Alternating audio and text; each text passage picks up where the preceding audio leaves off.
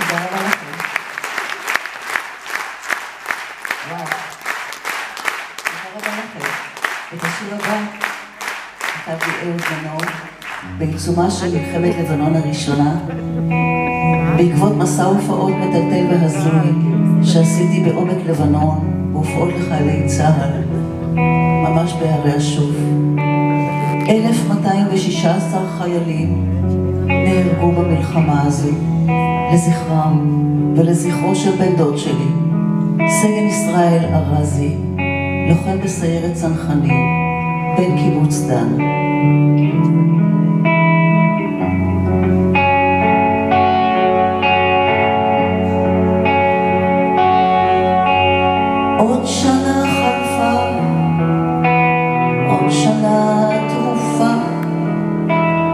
עשבים שוטים עלו בשביל ובגן,